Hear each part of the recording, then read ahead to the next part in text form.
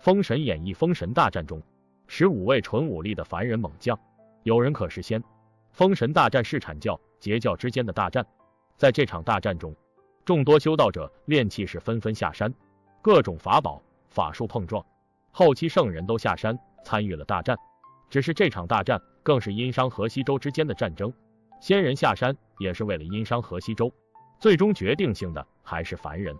在封神大战中，不只有仙人。很多凡人猛将表现也相当出众，有人可是仙，有人可以一人之力伤二十万大军。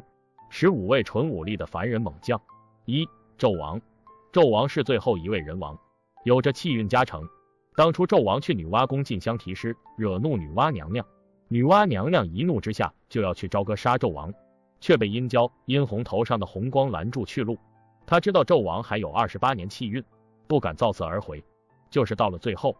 诸鬼索命，纣王两眼一睁，冲出阳神，驱魂冤鬼立马退去。纣王的纯武力也很强悍，他力大无比，可以脱梁换柱。博弈考进献的白猿看穿妲己是妖怪后，法相妲己，纣王一拳就打死了他。这个白猿是千年得到的猿，可见纣王的力量。最能展现纣王实力的是最后大战诸侯，包括姜文焕、南宫氏等大将，他手中一把刀挥舞。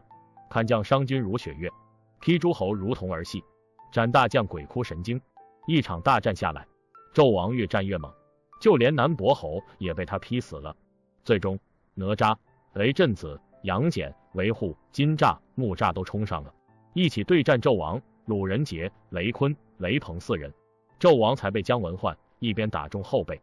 二黄天祥，黄天祥是黄飞虎的小儿子，是凡人武将。也是封神里唯一枪挑仙人的凡人。黄天化少年就开始从军出战，枪法极为精湛。张桂芳讨伐西岐时，混战中黄天祥一枪挑死风林，而风林不论左道，可以与南宫氏大战不分胜负。虽然这一枪来的突然，但也可以看出黄天祥枪法之快。此外，黄天祥还有战平张桂芳、枪挑狗张、斩杀陶荣、高贵、两败蚯蚓的勇猛战绩。堪称周营第一武将。三，乌文化。乌文化是一个身高数丈的巨人，使用一根排爬木，力大无比。眉山七怪在孟津阻拦周军时，乌文化接招衔绑，投到袁弘麾下。初次出战，乌文化被龙须虎用飞石打了一顿。当夜他就去劫袭周营，群战才是最适合乌文化的。这一夜，乌文化用排爬木在周营六十万大军中乱扫，吓得武王姜子牙落荒而逃。阐教三代弟子纷纷借武遁逃去，这就苦了那些兵将。最后统计下来，死了将官三十四员，军兵损失二十来万。龙须虎也被钉死在排八木上，这是姜子牙统兵以来最惨的一次。一夜之间，周兵失塞孟津。四邓婵玉，邓婵玉是邓九公的女儿，擅长刀法，最厉害的还是五光石。这个就和《水浒传》中的梅雨剑、张青的飞石一样，武力不算一流。但绝技超加分，邓婵玉的战绩很多，主要是依靠飞石。初期对抗周军时，用飞石打伤过哪吒、黄天化、龙须虎，后面也打伤过张山、殷红、红锦、高兰英、郑伦等人。邓婵玉最厉害的还是曾用飞石三次打中孔宣，让他重伤逃回大营。五张山，张山是殷商三山关总兵，接替的是邓九公的职位，是征讨西岐的三十六路人马之一。姜子牙曾问邓九公：“张山用兵如何？”他只是说他是义勇之将。张山确实是一员猛将，一杆枪使出来神出鬼没，三十合就杀得对方刀法散乱。这个战绩非常出众。毕竟邓九公曾战黄飞虎和哪吒两人联手而不输。六，邓九公，原三山关总兵，后来投奔了西岐。在凡人武将中，邓九公是极其出众的，刀法如神，他的战绩颇多。在对抗西岐时，对战黄飞虎，黄飞虎竟然战不下。哪吒使开火尖枪前来助战，邓九公却是越战越猛。哪吒见战不下，就暗中取出乾坤圈打伤了他。投顺西岐后，邓九公更是多次抢先出战，曾斩杀刘辅、白显忠、马方、于成、孙宝、钱宝等人，更是曾十二三合生擒马善。这个马善不是凡人，而是燃灯道人琉璃灯的灯焰。邓九公竟然可以快速生擒他，可见实力之强劲。七黄飞虎，文有太师文仲，武有镇国武成王。黄飞虎是殷商的镇国武成王，是纣王的左膀右臂，曾为殷商开疆扩土，立了三十余场奇功。后来黄飞虎因妻妹惨遭商纣王所害，反出武关，投靠了西岐，依然被封武成王。黄飞虎武艺绝伦，使用一杆金钻提炉枪，枪法如神。论武艺，黄飞虎与凡人交战几无败绩。反出朝歌前，黄飞虎曾约战纣王，不过这一战黄明、周忌也上前了。黄飞虎三人齐战纣王，三十回合打败了纣王。其后攻伐殷商时，黄飞虎也是屡有战绩，曾经一枪挑死张杰，三十回合挑死卞金龙，二十回合生擒赵炳等。或许是出场太多了，黄飞虎战败被生擒的次数也是特别多。综合来说，黄飞虎的武艺凌驾于大部分武将之上。八，于达，于达是潼关守将于化龙的长子，是潼关守将，使用一杆白银枪，更擅长使用暗器撞心杵。对抗西岐时，于达第一个出战，对阵的是太栾。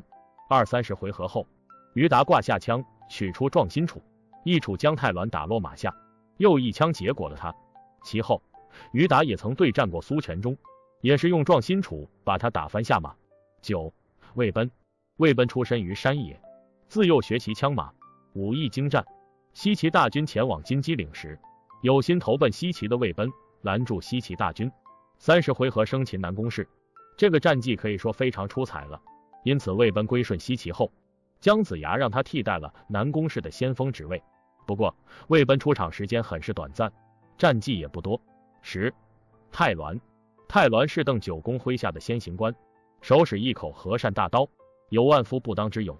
对抗西岐时，太栾先行出战，对阵南宫氏。三十回合后，太栾一刀削去南宫氏半边护肩甲，吞头，吓得南宫氏魂飞天外，大败进城。投顺西岐后，太栾也是屡立战功，最终战于达时，被他用撞心杵打死。十一，苏全忠，苏全忠是继周侯苏护的儿子，苏妲己的哥哥，使用一杆银尖戟，勇冠三军。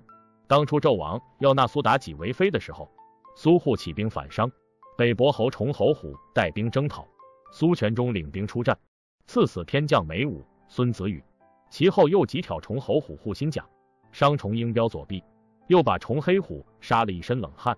这崇黑虎自幼曾跟随截教仙人修炼过，苏全忠能杀败他，可见实力。